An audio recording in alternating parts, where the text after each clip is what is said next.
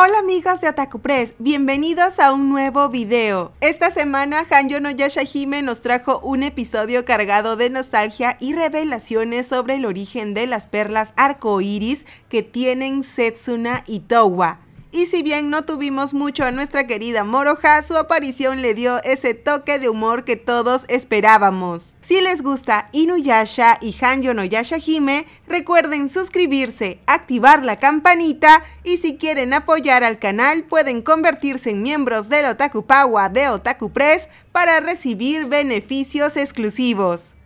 Antes de pasar al review empiezo el video de hoy con buenas noticias tenemos el anuncio oficial de un nuevo ending para Hanyo no Yashahime con el título Conclusion por la banda Ryokushoku Shakai, que también ha dado temas de cierre para My Hero Academia, entre otros animes. También tenemos la actualización de la sección de personajes en la web de Hanyo no Yashahime, así que les dejo el enlace en la cajita de descripción. Y sí, el profesor de Towa sigue apareciendo misteriosamente, así que su importancia podría ser mucho mayor o es una gran troleada para los fans. Ya lo sabremos, pero ahora sí, pasemos al rápido resumen de la historia de hoy.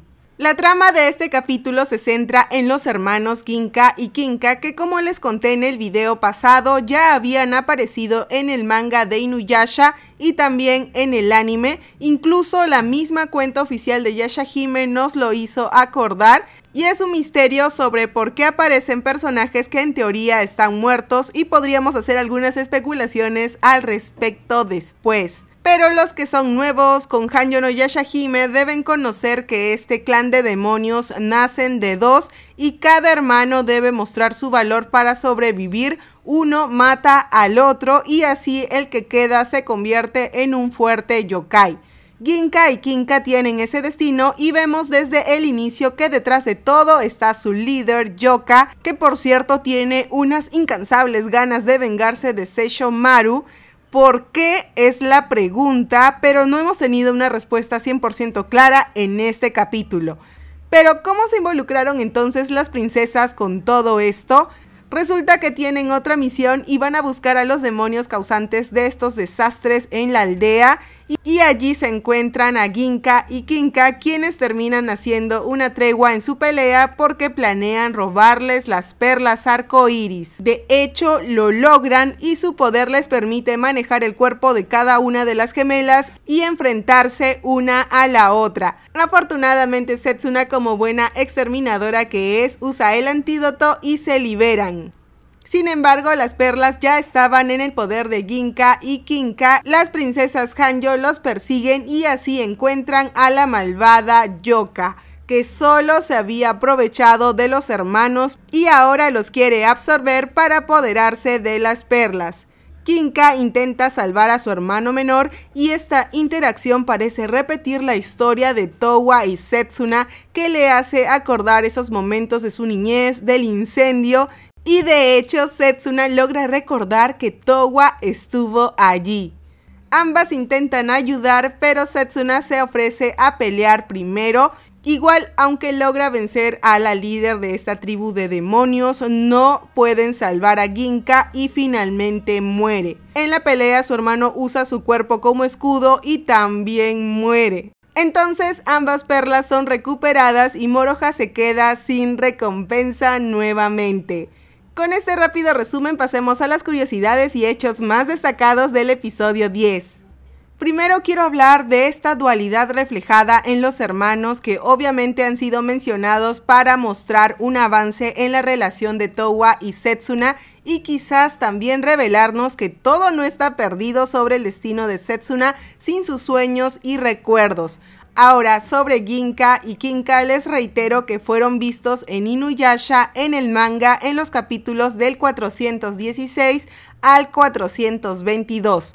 Ambos mueren y las diferencias con el anime son bastante marcadas, pero el destino sigue siendo el mismo. Entonces, en Hanyo no Yashahime podrían ser que hay dos posibles opciones. La primera es que estos Ginka y Kinka sean nuevos demonios que tengan el mismo nombre y la otra es que se trate de los mismos y esto obviamente apoya la teoría de que el tiempo ha sido alterado como en capítulos anteriores se nos sugiere. Esto explicaría por qué aparecen enemigos anteriores o personajes que hemos visto en la saga de Inuyasha y que incluso estaban muertos.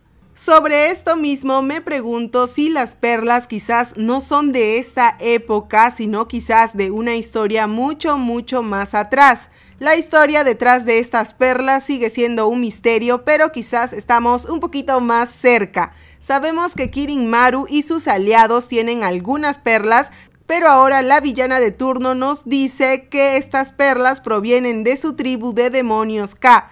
La pregunta es, ¿cómo terminaron estas perlas en Setsuna y Towa desde muy muy pequeñas?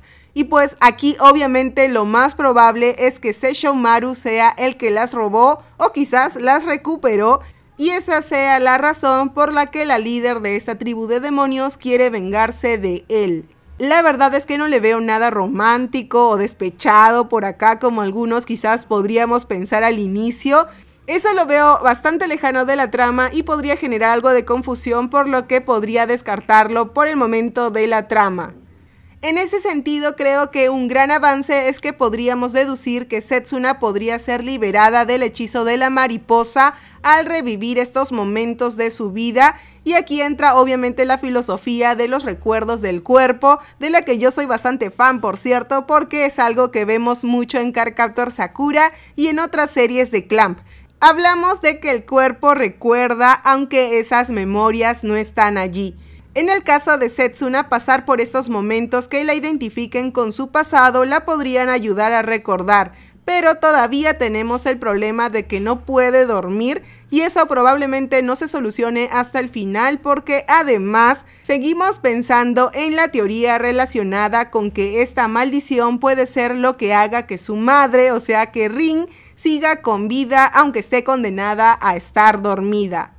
Entre las curiosidades pequeñitas, además de estos personajes de Inuyasha, tenemos a la familia que se acerca a las princesas y sí que tienen muchas similitudes con la escena del manga de Inuyasha de la cual hablábamos porque también había un señor con su esposa y su hijo y hasta la situación esta con la vaca rostizada nos lleva a la nostalgia.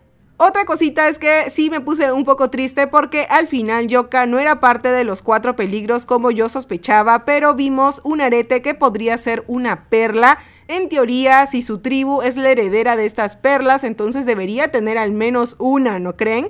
Pero no sabemos si realmente ese arete es o no una perla porque cuando fue derrotada no pareciera que hubiera quedado nada, así que por el momento vamos a dejar en stand-by esa idea. También destacó mucho la participación de Setsuna, realmente se lució con su poder y la combinación con el fuego de Kinka yo creo que le ayudó un montón. El capítulo estuvo cargado de emociones para todos los gustos, pero que viene para la siguiente semana. Quizás tengamos más pistas sobre Setsuna porque esta vez nuevamente habrán hermanos involucrados en un lugar donde un demonio devora todo lo que aparece cerca de su pantano. Y por la descripción de Nippon TV, todo indica que veremos no solo uno, sino tres yokai de la época de Inuyasha.